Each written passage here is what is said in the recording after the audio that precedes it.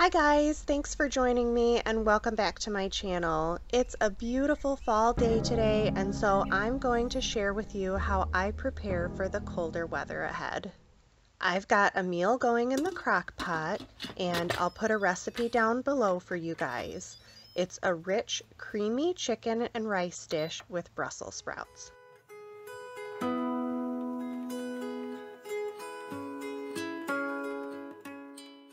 But first I'm going to put my coffee in my to-go cup and take it outside and do some work in the yard.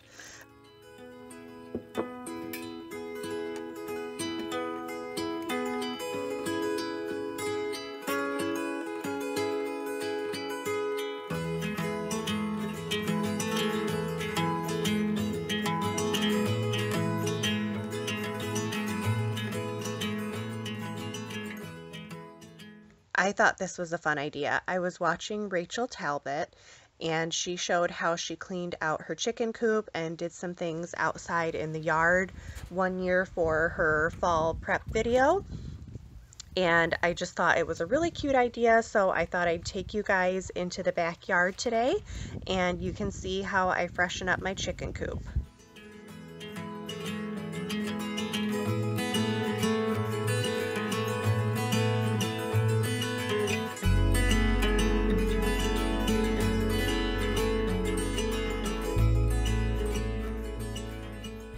And basically all I do is clear out as much of their old bedding and their mess as I can and I haul it over to my compost pile. Um, you can see I'm using my snow shovel and that's really just because it's the biggest shovel that I have and I don't have a wheelbarrow. So I will use another shovel to help me fill this up and of course I'm wearing gloves to keep my hands clean.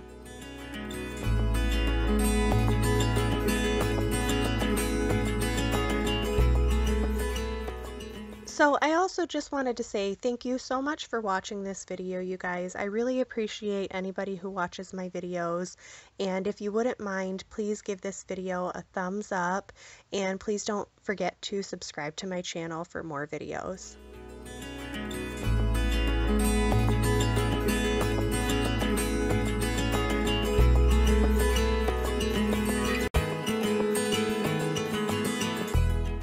Down in the bottom of their coop, I need to level out the ground because chickens love to scratch and dig and so they make everything really uneven and what ends up happening is their little ladder that goes upstairs gets knocked over. So I just need to make sure that's all nice and clean and then I add more bedding. And so I use sawdust that I get from Tractor Supply and it is pretty chunky. It's not very fine. There's nice big pieces in there and that helps to keep the chickens warm and it's also just another it's fun for them to play. They like to scratch and they like to dig around and look for things. And then what I need to do is clean out their food and water containers and just refill them. So I'm going to give them some more food and some more water here. And I like leaving dishes of water out for them all over the yard. But recently one of our chickens did get hit by a car. She had gotten out of the fence and she got hit by a car and so she's no longer with us and so I no longer have free range chickens. I do keep them in their house just to keep them safe. Then I had to work on my herb garden a little bit. I needed to cut it all back and harvest it. Um, so what I had to do was I had put this chicken wire over the top basically to keep the chickens out of it and I had to get that out so some of the herbs I trimmed off and then I was able to get that out of there and what I ended up harvesting was parsley and a nice little bit of sage and some chives and I also had some green onion and basil.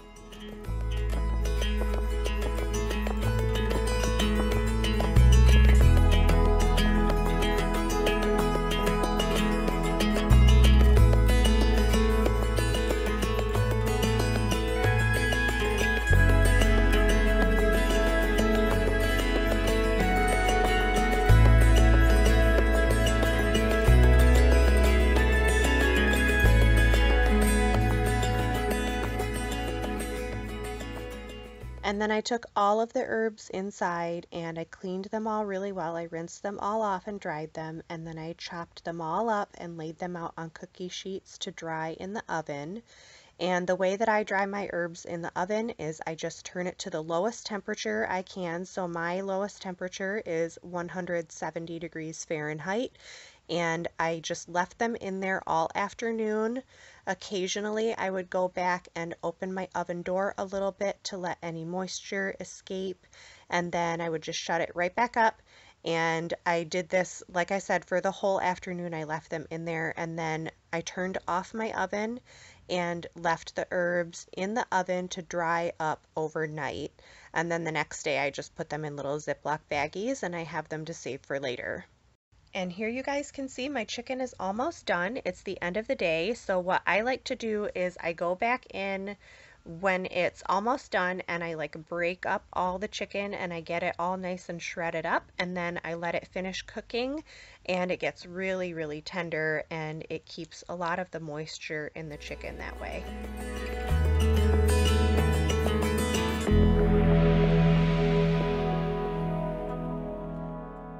Okay, so this is the next day. And I really needed new bins for my cubby by the back door. So these are from the dollar store and they come in all different sizes and colors.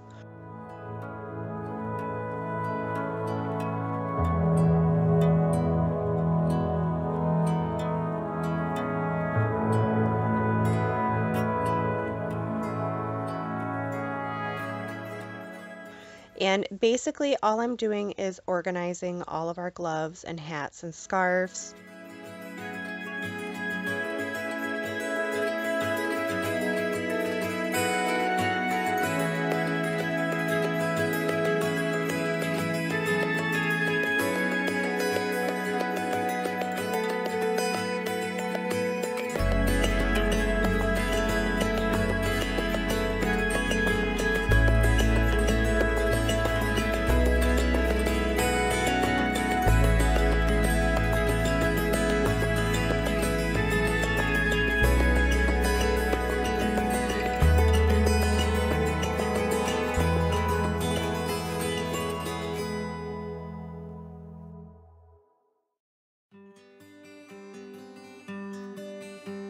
And I ended up putting the kids' snacks in the little cubby to the right and I put away their craft stuff because it was just making a big mess all the time.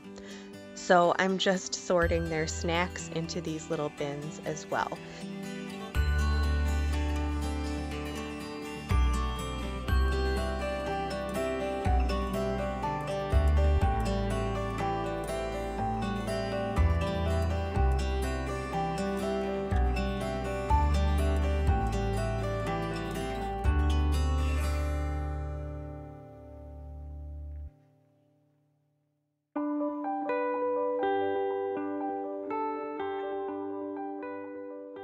So here I am just sorting out like our coats and scarves and things like that. Um, somehow a bunch of the kids' sweaters had ended up over here in the bench area.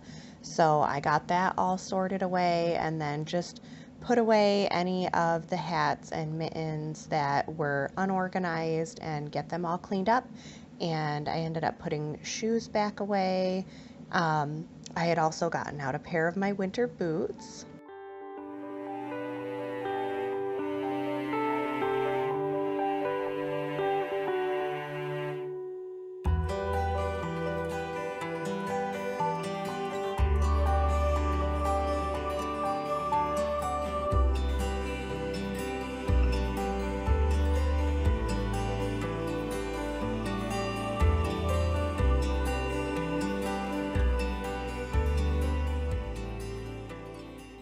And so the last thing I needed to do was just clean up a few little things. Like there were some sweaters out and some socks that I found that I needed to put back in the kids' rooms.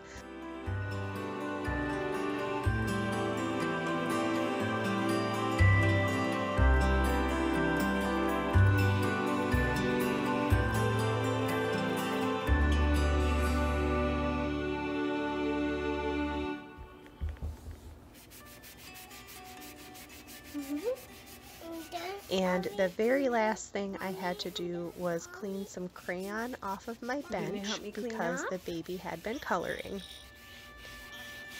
You want to try? Wipe up.